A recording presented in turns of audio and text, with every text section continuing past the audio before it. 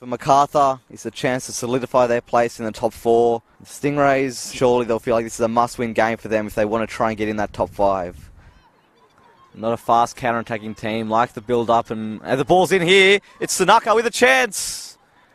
Sharp save, but it's on the follow-up now. Gordon with the shot. And it's cleared finally by Matos. Carney steaming down this wing. Gets it now.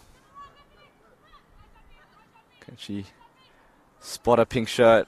Lays it back. Cooper with a shot. Would be Austin to swing it in now. In at the near post. And it's in! It's gone in! Kayla Austin scored from a corner. I cannot believe it. Shamira Karmas would be spewing. Charalambous again. Emery doesn't claim off the goal line. Only 30% of their goals against them coming from free kick so far. The ball is played in long. Emery, oh my god! It's gone in. I do not believe it. It's another wonder goal. This time from Alexandra Hune. Scores now MacArthur Rams 1. The Illawarra Stingrays 1. Sunaga playing it back. MacArthur camped in the Stingrays box. The ball comes through. Karmas with the chip. It's a fantastic finish there from Lena Karmas. Just evading Bronte Pike there on her blind side. None the wiser as Lena Karmas just crept in. Ball's dropped to Gordon. Charalambous will this be one last chance in the first half. Looks for Karmas with the head on. Lena Karmas with another goal. Right before half time, drives a dagger into the hearts of the Illawarra Stingrays. As they've had a lot of success. Forster Middleton lays it off for Carney. Michelle Carney with a chance!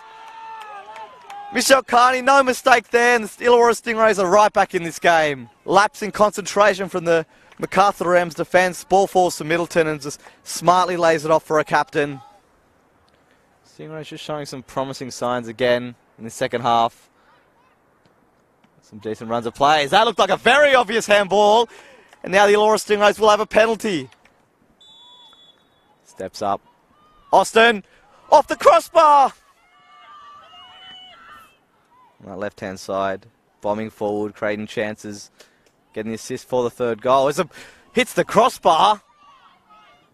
Muronen goes for goal. Will it go in? Off the post for Sakani. Middleton now. Off the line.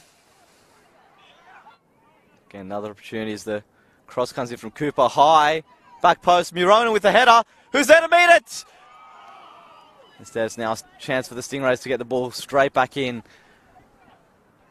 Flick on. Will it fall to Carney now? On her left foot. Michelle Carney. Surely time to just run out the clock. There's McKenzie. And that will be the final kick of the game. It's a tale of missed chances as the Illawarra Stingrays are unable to find an equaliser.